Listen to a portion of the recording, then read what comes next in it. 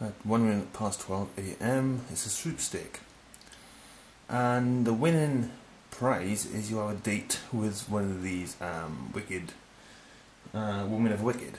Um, I don't know who you have a date with, but now the you know the competition is finished um, years ago. Uh, it doesn't say until what date, but it's probably gone by now.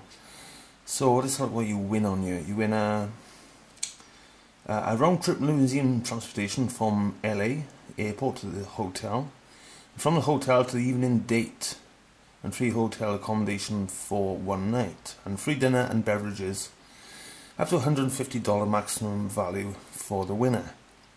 Dinner and beverages for the Wicked Girl will be paid for by the sweepstakes sponsor. Winners must contact Plastic Fantasy, blah blah blah blah blah. Uh, the uh, end of the competition is 2004. Oops, that's gone. So yeah, you uh, you actually prize to have a date with a porn star. I wonder who uh, the uh, porn star was you have a date with. So okay, end of that. This piece of paper, to come on. Okay, the actual figure.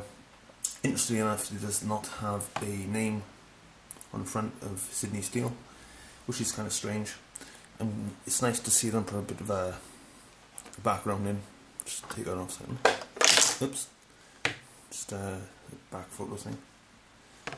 Fit it back on. It's the usual pin and hole. If you can see, usual pin. Get on.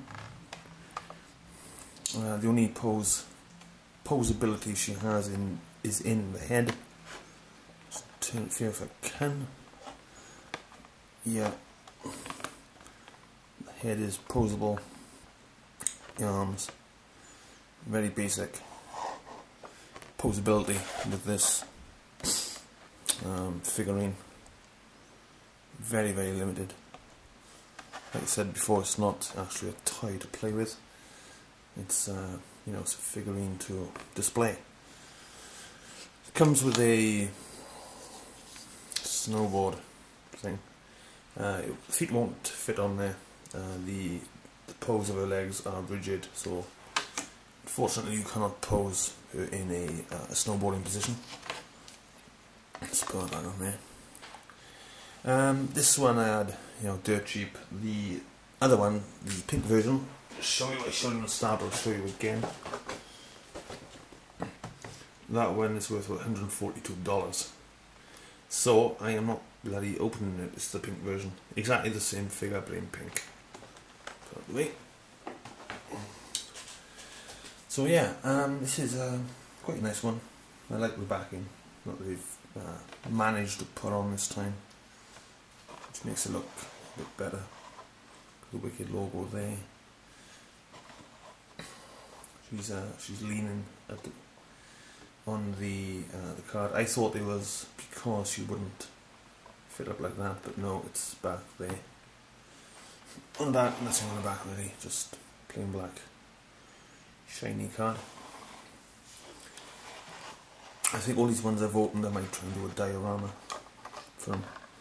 Might cover this in some kind of uh, sculpting pattern, make like a snow scene or something. Something like that. So yeah, it's pretty good this one. Oops, wrong angle there. So yeah, I like this one. It's, uh, it's quite good. And if you can see, I'll move that. Just zoom in. I don't know if you can see it. You can see an actual like dimples what she's actually got in uh, the real world. I'll show you the back. Pop this out. Pop it out. This is the back of her again with these uh, horrible mold lines. I'm a, I'm a big hater of these kind of mold lines. Yeah, focus. Hey. Snow boots. Pretty good, nicely done. Nicely sculpted.